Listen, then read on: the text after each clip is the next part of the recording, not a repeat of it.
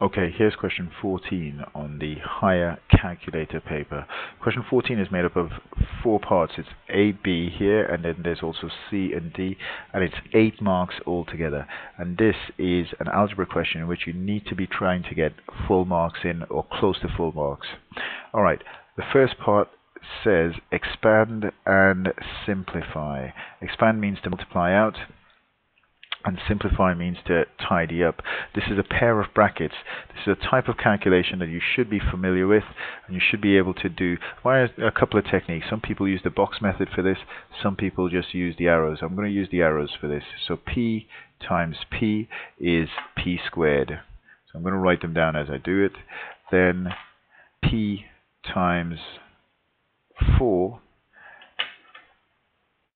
is 4p but remember, it's p times minus 4, so that's going to be minus 4p. Then I'm going to use the 9. 9 times p is 9p. That's positive 9. So positive 9 times p is plus 9p.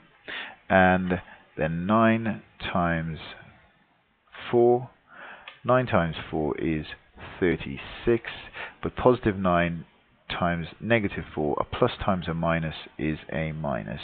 Okay, so I've picked up one of these two marks already. For just doing what I've done there, I've picked up one mark. Now I need to simplify. I've got p squared, just one of those.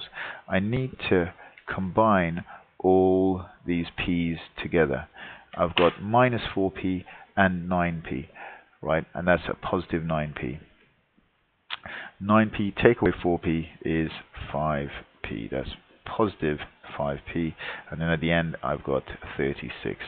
So that's it. p squared plus 5p take away 36.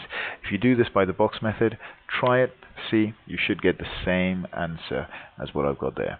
Okay, going on to part B now. In part B it says solve this. Solve means to work out, work out the value of x, and if I just shift this up a bit, you'll see, actually it's not x, it's w. They want us to work out the value of w. okay, so how do we go about this? I need to get rid of that 3 from the bottom. As if I read the equation first, it's 5w take away 8 divided by 3 is equal to 4 times w plus 2. So to get rid of that 3, which mean which on this side is dividing by 3, I need to times the right hand side by 3. I'm going to times everything there by 3. So one, if I get rid of the 3 on the left hand side, I'll just get 5w minus 8. And if I times all of this by 3. 3 times 4 is 12, so that's 12w. 3 times 2 is 6, so I've got 6 there. Okay, now this is pretty straightforward. It's still solving an equation, but we have unknowns on either side. We have 5w here, we have 12w there, I have minus 8 and plus 6. I'm going to try to get all the W's over to one side. Now because there are more of them here on this, this side here on the right hand side, I'm going to bring them all over to this side. So I'm going to leave the 12W there. I'm going to bring that 5W across. I'm going to take that across there. If and when it moves across, it changes sign. Over here it's positive, so when it lands on this side, it's going to be minus 5w. On the right, the left-hand side here, I've got that minus 8. When I bring that 6, or that positive 6, across, I bring positive 6 across, it's going to become, actually, why did I put that. That's that minus 8. It's still over there. When I bring that positive 6 across, it's going to become minus 6. So, I just need to tidy this up now. Minus 6 and minus 8, all together that's minus 14. 12 take away 5 is 7, so that's 7w. If I want to work out what w is on its own, I need to get rid of that 7, which means I need to divide by 7.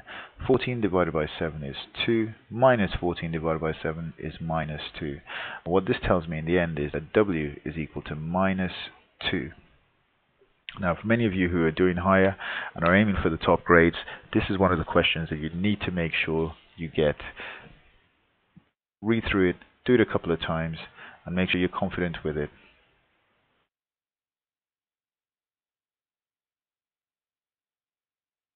Okay, here are part C and D. Part C of this question says factorize. Now, this is a special case. This is a special case. If you have just two terms that you need to factorize and one's x squared or an x squared term and the other one is just a number you need to look out to see if they're both squares now in this case I have x squared and thinking about 49, what number squared is that? That's 7 squared. Okay, and this is a special case called a difference of two squares. If you have a squared minus b squared, that is going to be equal to a plus b, a minus b. Now you should be familiar with that. What I do need you to do is to look it up, make sure you remember it. But when I factorize this, I'm going to get x plus 7 and x minus 7. This is only worth one mark, but it should be something that you know, you're pretty confident with, and you could repeat. Okay, going on to part D. Part D says to simplify. Simplify. Now what I've got there is 9, x to the power of 8, y to the power of 3, all of that to the power of a half. Okay, if something's to the power of a half, that means you're square rooting it. So if I had a number like 9 to the power of a half, I'll be square rooting it. But because everything inside the brackets is to the power of a half, right, and the power of a half is outside, that applies to everything in there. So what I have is 9 to the power of a half. I've got x to the power of 8, and all of that is to the power of a half and I've got y cubed and all of that is to the power of a half. So let's work out each of those in turn. 9 to the power of a half, that actually means the square root of 9. The square root of 9 is 3.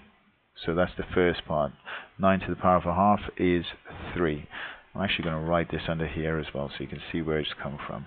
9 to the power of a half is 3 when I have a, a, a number something with a power all to a power, so a power of a power, yep, we times the powers together. So this is going to become x to the power of 8 times a half, or a half of 8, that's going to be 4. So it's going to be x to the power of 4. And then at the end, I'm going to have y 3 times a half. 3 times a half, or half of 3, is 1.5, or 1 and a half. So the last part is y is equal to 1.5. Or you could write that as 3 over 2, or even 1 and a half. This last part, part D, not a lot of people answer this correctly. Take your time, think about it, break it down in stages, look at what I've done here, and make sure you do this. And overall, you can see this question is worth 8 marks. Make sure you can get it, especially those of you doing higher and aiming for the higher grades. Make sure you can do all of it.